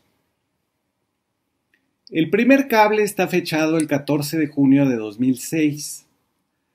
Hasta la Embajada de George W. Bush llega un consejero del Instituto Nacional Electoral, Arturo Sánchez Gutiérrez, quien estuvo encargado del financiamiento a los partidos políticos durante siete años y luego fue consejero electoral durante otros siete, de 2003 a 2010. Quien redacta el cable asegura que el consejero del INE, cito, claramente le tiene poco amor a López Obrador. Es decir, que la forma en que se expresa del candidato de la izquierda es despectiva. Pero el cable, es crucial para nuestra historia reciente porque en él este consejero, Sánchez Gutiérrez, afirma que la elección se definirá a favor de Felipe Calderón por tres puntos porcentuales o menos, que esperan una reacción popular encabezada por López Obrador, que se desgastará porque ya hay un acuerdo con los partidos para que acepten los resultados, y le anuncia a los gringos que quizás no exista un anuncio del ganador vía el conteo rápido y que todo recaerá en el programa de resultados preliminares, el PREP. También se le pregunta al consejero sobre las denuncias públicas de Andrés Manuel sobre el software para contar votos vendido por el cuñado de Felipe Calderón, Hildebrando Zavala. Y el consejero da una serie de explicaciones bastante confusas. Primero dice que usan un programa que si bien es de Hildebrando, no se lo compraron a él, y luego que tenían un contrato con una empresa de procesamiento de datos de Hildebrando, pero que lo firmaron en el 2000 cuando el cuñado ya no estaba. Es notable la forma en que el consejero del INE habla de las negociaciones con el PRI para que acepte los resultados a favor de Calderón, a cambio, dice, de puestos en el gabinete y aprobación de ciertas leyes. Lo que queda claro es el papel del INE completamente sesgado a favor de uno de los contendientes, el de Acción Nacional, y de alguna forma inmiscuido en las negociaciones con el PRI de Roberto Madrazo. El siguiente cable sobre el que quiero llamar su atención es el que tiene fecha de 19 de octubre de 2009, en el que reportan una conversación con el secretario de la Defensa Nacional, el general Guillermo Galván Galván, donde el militar les externa a los empleados de la Embajada norteamericana su anhelo de que Felipe Calderón decrete el estado de excepción para su guerra contra el crimen organizado. Quien redacta el informe detalla que el militar citó la posibilidad de invocar el artículo 29 de la Constitución que regula la suspensión de las garantías individuales y el traspaso de las facultades del legislativo al presidente de la República. El general Galván se queja de que el ejército no tiene un marco legal para actuar y que éste solo podría sostenerse con el estado de excepción en el que todas las garantías son canceladas. Galván recurre al artículo 29 porque al parecer la guerra contra el crimen se obstaculizaba por los derechos individuales como la libertad de expresión, manifestación y agrupación. Este cable nos da una idea de lo que estaba sucediendo al interior de las Fuerzas Armadas mientras eran lanzadas a las calles y las sierras sin cobertura jurídica. Simplemente buscaban que Felipe Calderón anulara la Constitución para poder hacer su guerra. Luego el embajador estadounidense invita al secretario de Gobernación, Fernando Gómez Montt, para que dé una explicación de si el ejército está actuando fuera de la ley. El, funcionario invoca no una ley o un artículo de la Constitución, sino una resolución de la Suprema Corte que dictaminó que los militares podían hacer labores de seguridad pública si así se lo pedían las autoridades locales. Gómez Bon confiesa ante los gringos que el gobierno de Calderón ha discutido la suspensión de garantías y el estado de excepción en casos como el de Chihuahua y en específico de Ciudad Juárez.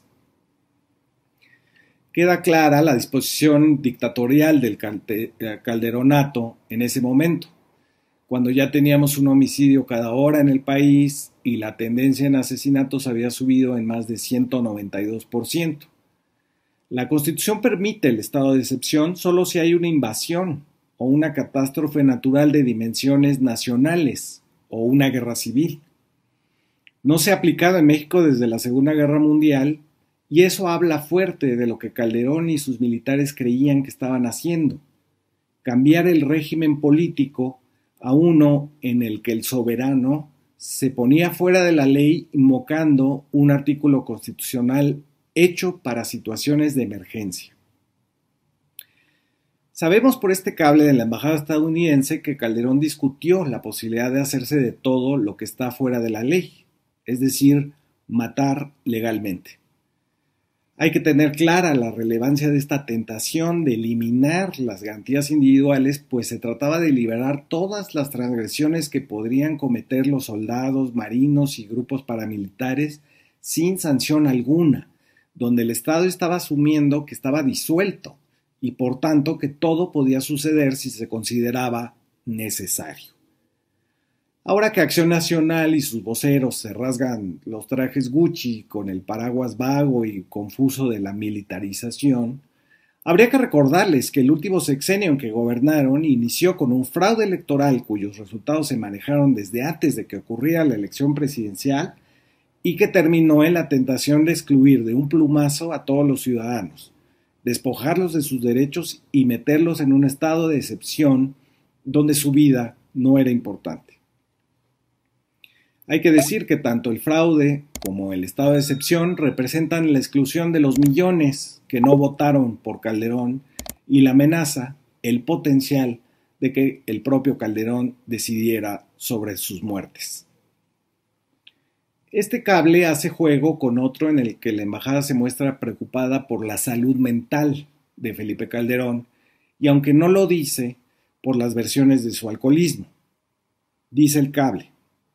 Seguimos interesados en cómo este estrés afecta su personalidad y su estilo de gestión y cómo ese estilo está afectando la marcha del gobierno, sobre todo a raíz de los recientes cambios del gabinete. Y entonces la embajada emite un cuestionario para que los cercanos a Felipe Calderón respondan a varias preguntas. 1. ¿Cómo reacciona el presidente Calderón a puntos de vista diferentes al suyo? ¿Le gusta debatir con personas que no están de acuerdo? ¿Prefiere escuchar su punto de vista pensando un momento para después llegar a una respuesta? ¿Se rodea de gente que tiene diferentes puntos de vista o prefiere personas que simplemente dicen sí, presidente? 2. ¿Cómo describiría el estilo de gestión de Calderón? ¿Es más un hombre de ideas o un compulsivo? ¿Cuáles son los efectos de su estilo de gestión para aquellos que trabajan para él? 3. ¿El estrés ha afectado a algún miembro de las áreas de seguridad o económicas del gabinete? ¿Han tenido algún problema de salud? ¿Qué tipo de actividades realizan estos miembros del gabinete para lidiar con el estrés? Hasta ahí el cuestionario que apunta hacia una inquietud y recelo hacia el estado mental de Calderón y los miembros del gabinete tras el desastre de la guerra, la crisis de la llamada gripe del puerco, la caída de la economía en un 5.2%, el cierre de empresas y el desplome del 63% de acción nacional en las elecciones intermedias de 2009. Al final, la idea de un presidente ilegítimo, obsesionado con la muerte y estresado al grado de preocupar a los empresarios y funcionarios de Estados Unidos, termina en el retrato de un personaje ridículo que persigue terroristas que no existen. Me refiero al último cable que termina de delinear lo que pensó Estados Unidos del presidente mexicano. Son los cables de lo sucedido entre el 24 y el 29 de octubre de 2009 que anuncian como una alerta nuclear, una alerta nuclear en el puerto de Manzanillo, Colima. Resulta que se detecta una carga radioactiva en un contenedor y se da la voz de alarma para que sea localizado. El gobierno mexicano, atento a un posible ataque terrorista, se moviliza para evitar que llegue a Estados Unidos. Un día más tarde, el paquete nuclear se localiza en una bodega de Samsung en Querétaro. Entonces, la radioactividad debe de estar en el tráiler que transportaba las piezas de esos aparatos electrónicos. El tráiler nunca es localizado y es el propio embajador de Estados Unidos, Carlos Pascual, el que da por terminado el episodio, diciendo, los problemas de comunicación entre autoridades mexicanas y estadounidenses llevaron a que una falsa alarma se convirtiera en una alerta de la máxima gravedad. Hasta ahí el ridículo internacional del ataque nuclear del contenedor de Samsung. Pero quisiera terminar esta columna dedicada a la liberación de Julian Assange con una reflexión sobre lo que hasta hace muy poco muchos creyeron que era la transición mexicana a la democracia.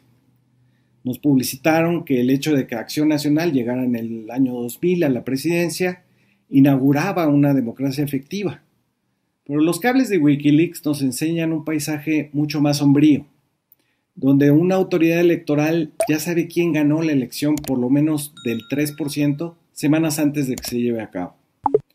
Del debate interno del gobierno de Felipe Calderón para suspender la constitución de la República. Y finalmente, de un declive mental y organizativo del encargado del Ejecutivo desde 2009 hasta 2012, es decir, desde la mitad de su sexenio. El Calderón de Wikileaks es el retrato de la debacle del Estado y sus compromisos jurídicos, tanto como de su supuesto espíritu democrático. Si atendemos a esta versión que los cables sostiene, el sexenio del calderonato desató una crisis humanitaria sin precedentes, pero algunos de sus miembros tuvieron la intención de que nos fuera peor. Muchas gracias por escuchar. Si les gustó este texto, denle like.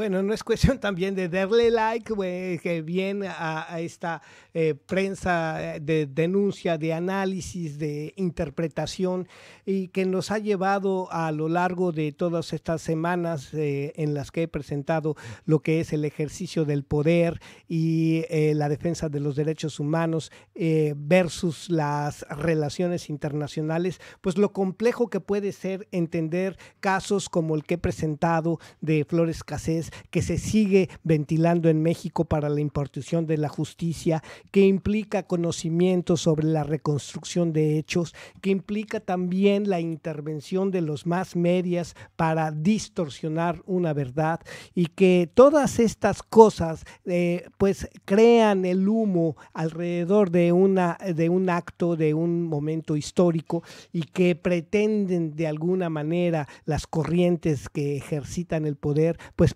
preservarse en él, dominar a la mayoría de personas, a los ciudadanos y eh, entender que eh, desde la sociedad civil la batalla es gigante. Eh, todas estas cosas que se ven como un momento aislado, pues están interconectadas y es muy, muy, muy difícil comprenderlas. Ver que todos los movimientos de eh, liberación y aislados pues no tendrán nunca la fuerza social de un cambio radical en el sistema porque nos tienen divididos porque eh, nos tienen eh, pues peleándonos entre nosotros esto hasta el seno de la familia con los supuestos derechos y los supuestos pues problemas que se tienen que ventil- ventilar como la violencia eh, ya, eh, vamos a decir, pandémica en todo lo que es el contexto social.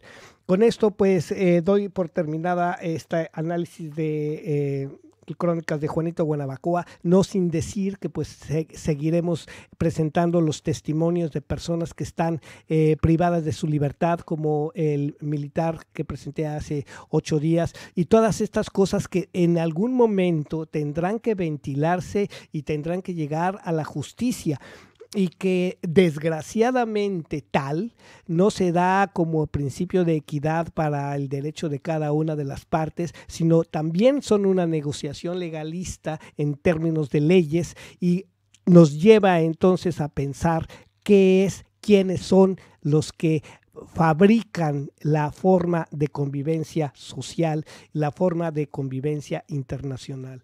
Y bueno, pues todo esto eh, aquí somos, aquí estamos, lo seguirá ventilando. Por lo pronto, pues terminaremos con Dos Blues, esta emisión correspondiente al 2 de octubre, eh, viendo que pues quise hacer un, un recuento de informaciones y hechos, consecuencia de lo que en 1968 eh, inició en el mundo entero. A la edad de 13 años yo estaba en el 68, en el 71 pues conocí a personajes que intervinieron en, los movimientos de reivindicación y todas estas cosas que han sido pues unas experiencias existenciales directas hasta llegar a, ya contaré algunas, algunas anécdotas que tengo eh, con eh, mi encuentro y las oportunidades que tuve de estar frente a Enrique Dussel, por ejemplo, y todas estas eh, relaciones que he creado a través de, la, de las eh, encuentros físicos, pero también utilizando la tecno- tecnología de comunicación virtual que se nos da en esta época. Y eh, pues una disculpa a eh, Laura Buenrostro porque presentando su obra de Caracola, pues la mala suerte salió un pequeño defecto en el disco. No quisiera yo intentar eh, pasarlo de nuevo porque ya este, pues vi que realmente pues no era una falla mecánica del equipo, sino pues un pequeño defecto que llega a suceder en la grabación del acetato del disco del- de la información en el CD. Y eh, quedamos entonces eh, haciendo blues y bien, pues esto dice así.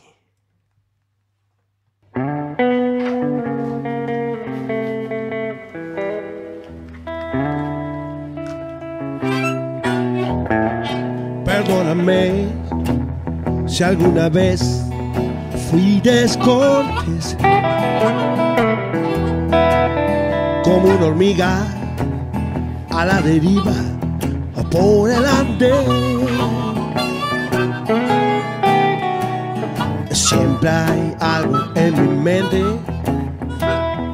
que te hace estar presente detrás de aquella estrella. Te veo pasar. Por la noche dio su brillo, comenzó el descontrol. Sube la adrenalina en una nube de alcohol. Vamos a un hotel, ahí la pasaremos bien. Lo importante es estar juntos, juntos tú y yo.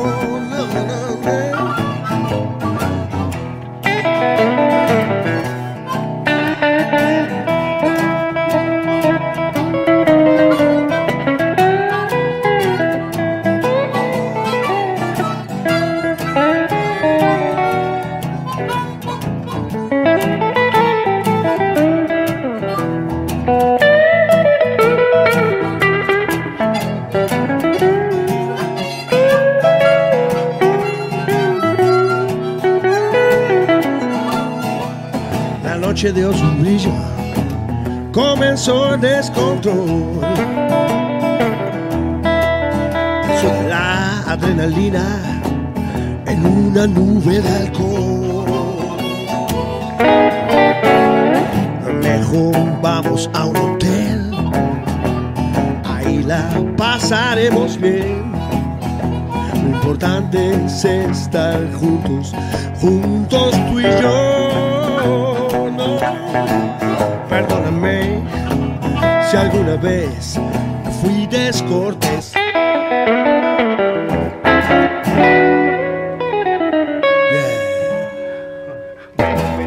Bueno, pues tuvimos a Pablo Tapia otra vez en eh, si alguna vez fui descortés y cerramos esta emisión correspondiente a el domingo 2 de octubre del año 2022 con lo que siempre me ha gustado hacer eh, es escuchando la música de los amigos que nos mandan hasta acá su participación.